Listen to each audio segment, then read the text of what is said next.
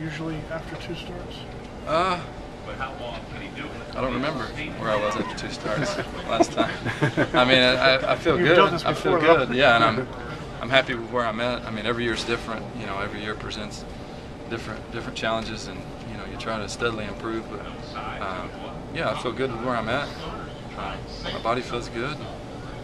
For the most part, I'm throwing the ball remotely close to where I'm trying to, so uh, it's a good thing.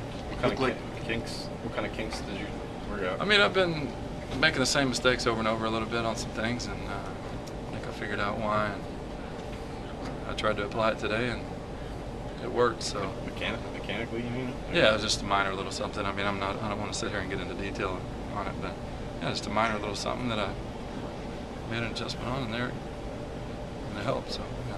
What did you I actually feel- figured it out between the bullpen and the game. Well, Yeah. I guess because of because of last year you only got those two games. Do you feel like you're going to enter this season? I mean, I mean, obviously you missed the first month. But do you feel like it, it's just that the extra preparation is going to make you that much, you know?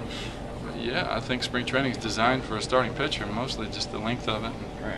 Uh, you know, it takes a starting pitcher this long to build up. And, uh, yeah, if you miss that, it's it's a big blow. So, uh, obviously, getting to go through it and prepare for the season, and yeah, it's I definitely prefer that rather than being injured and on the DL and waiting. To, Right.